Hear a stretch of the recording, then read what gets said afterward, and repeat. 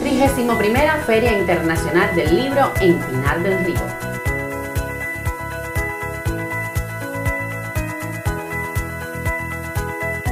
Presentaciones, conferencias y paneles sobre la creación literaria. Más de una veintena de nuevos títulos de las editoriales Vuelta Pajeras. Del 1 al 5 de marzo, Feria Internacional del Libro en Pinar del Río.